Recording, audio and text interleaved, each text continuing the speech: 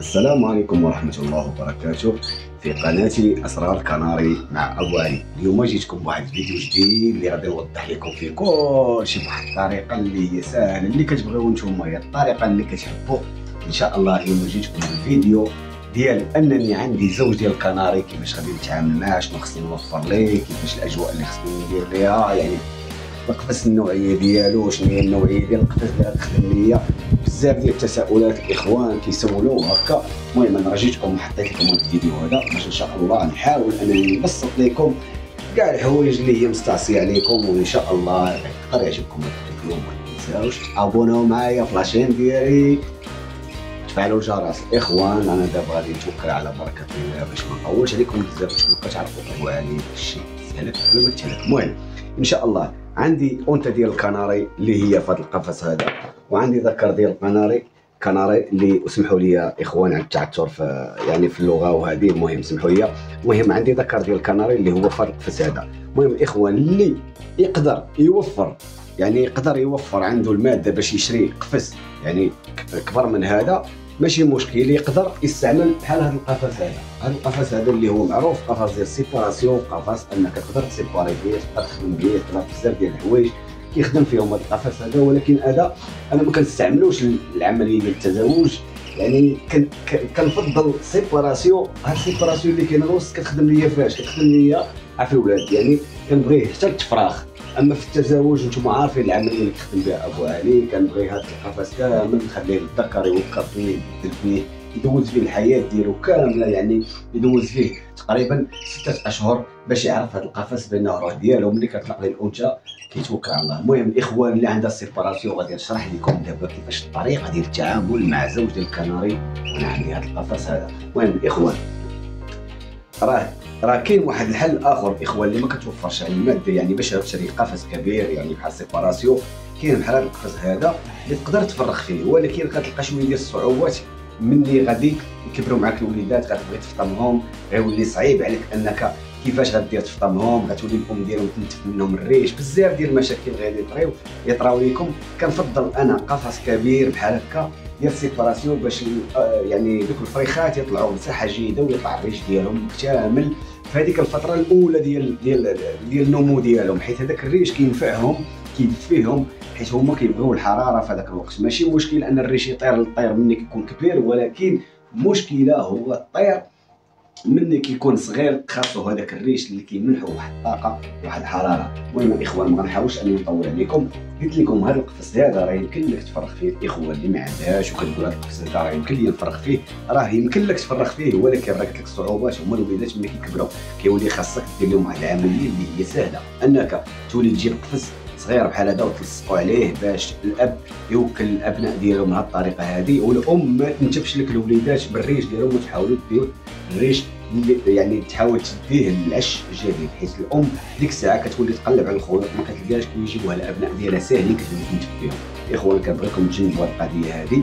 المهم هذا راه كاين عنده الطريقة هذه أنك كتركب عش خارجي على برا يعني الطريقة راه معروفة كيركب بحال هكا وكتخدم به يعني في عمليه ديال التزاوج ولكن ما ما أنا ما كنفضلهاش بزاف. اخوان اللي عنده قفص آخر يحاول أنه يلاقيه مع هذا ما قالش يشري شري جوج قفوس صغيورين ولاقيهم راه هي الخدمة ديالهم مزيانة. المهم أنا غادي نرجع معكم الخدمه اللي هي آه كنقولوا الخدمة اللي هي معروفة عند الناس كاملين هي ال séparation المهم خاصني séparation الطريقة هذه بحال هكا يكون séparé كاين الحاجز وكاين الحاجز يعني الحاجز السلكي ولا الحاجز اللي كنقولوا حنايا الشبقلي المهم كيكونوا هاد جوج ديال الحواجز غادي نستعملهم يعني في العملية ديال الكوكلاج. اش كندير؟ كنشد الذكر كنحاول أنني الذكر كنسبقو هو الأول. علاش؟ باش أنا ما كرهش الذكر يدوز واحد يومين ولا ثلاث أيام في القفص كامل بوحدو.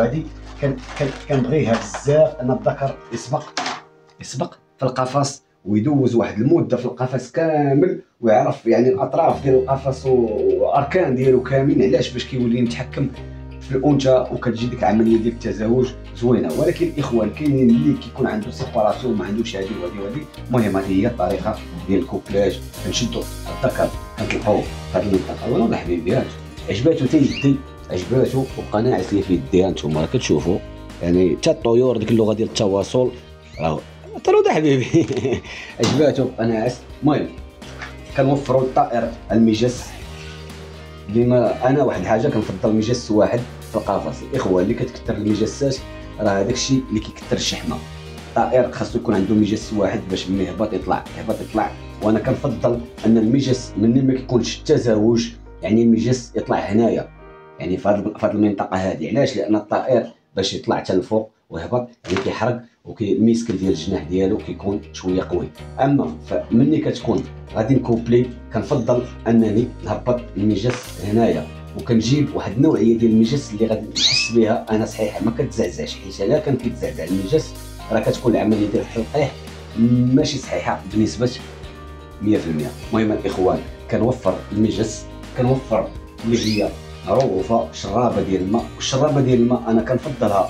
يعني ما تكونش حدا المجس علاش؟ لأن الطائر كياخذ راحته فيها مني كي كيوقف فوق المجس يعني كيوقف فوق المجس كيبدأ يعني بحال غادي نقولوا بهذيك الطريقة ديال أنه كيبدأ يدير فيها يعني يحط فيها الماكلة ديالو بزاف ديال الحوايج. يعني كياخذ راحته وغيدير فيها اللي بغا. المهم أنا كنحاول أن الشرابه بعد الطائر لأنه غايجي يشرب منها غايجي يشرب منها. المهم باش تبقى لي نقية هي أنني كنبعدها من المجس وكنجي اللي هي حاجة مهمة اللي هي الوكالة ديالو. الوكالة كنديرها بهذه الطريقة هذه راكم عارفين الطريقة الصحيحة ديالها. وكنشد كنعمرها وعارفين شنو هي الأكلة الأساسية والطعام الأساسي عند أبو علي.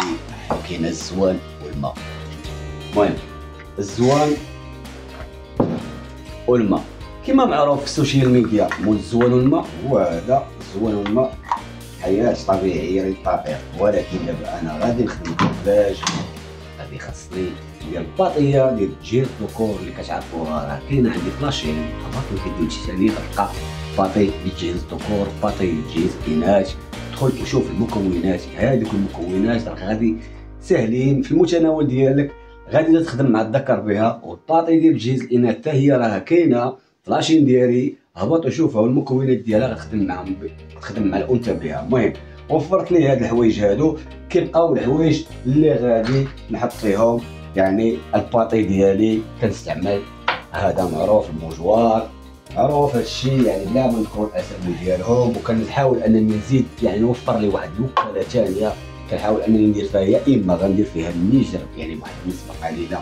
إلا كنت باغي ن forcer الذكر يعني نهيجو بواحد السرعه كنت باغي ندير فيها شي تخليطة mélange كما معروفة اللي كنركز فيها على أن الميلونج نزيد فيها شوية ديال الخرطال باش ما نخليش المواد الدهنية يعني فيها بواحد الكثرة.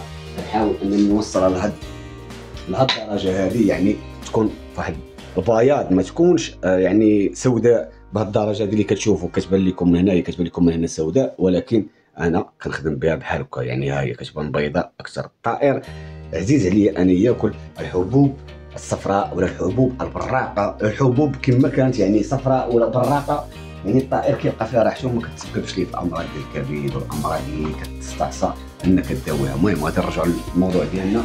غادي نشدوا الأنثى هي. أجي كذا أنتم عارفين الأنثى بان هذه راه هي نجلاء حبيبه نجلاء الكبيره المهم.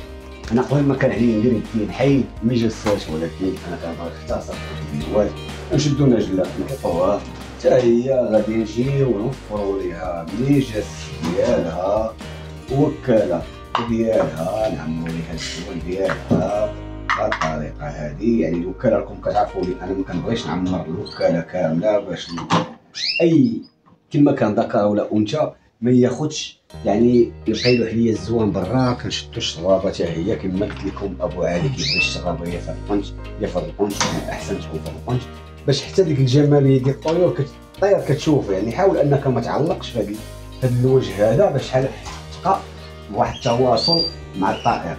والمهم من هادشي كامل هو عدم الحفار يعني السيفيه تكون موفر هاد الطائر ديالك في القفص كما كان ذكر ولا أنثى. والسيفيه راكم معروفه معروفة انني كنزيد نركزها نركزها في يعني في, الميلونج ديالي وكما كتعرفوا بأنني كنخدم يعني بهاد الخلطات هادو اللي الحبوب هادو اللي كنركزوا مزيان في يعني في الخلطات ديالي اللي هي زريعة الكتان الاناث الذكور كنحاول أنني نوفر لهم اللي هو الحبوب. الحبة السوداء هذه ماشي الحبة السوداء هذه حبوب النيجر اللي هي كتعطي واحد الهيجة للذكر وكتعطي واحد اللون اللي هو زوين وكتعطي واحد آه، شنو؟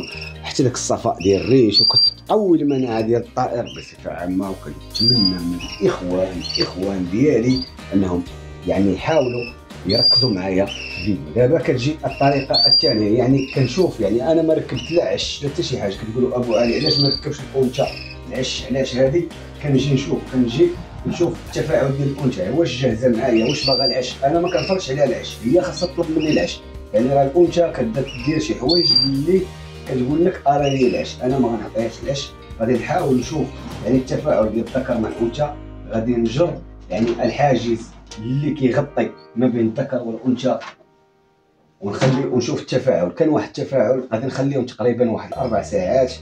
أو خمسة ساعات ونعاود نرجع نكرر العملية ديال الإغلاق لأن هذه عملية كتساعد أن الذكر والأنثى كيجهزوا معك بواحد يعني كيجهزوا معك بواحد السرعة. علاش؟ لأن الذكر كيتشوق للأنثى والأنثى كتشوق للذكر وهذه هي العملية اللي هي معروفة. كيقولوا الاخوان عملية التشويق.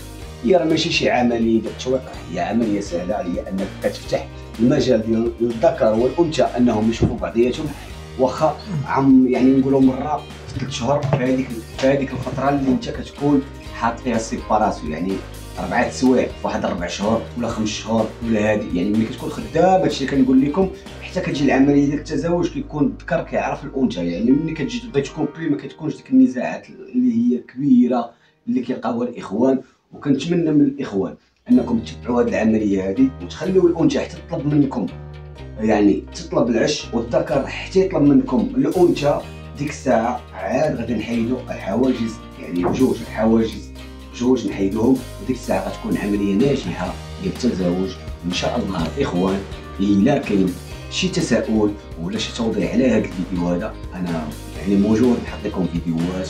وكنتمنى أنكم تابوناو معايا في لاشين ديالي وما تنساوش أبو علي أبو علي بكم بزاف السلام عليكم ورحمة الله وبركاته.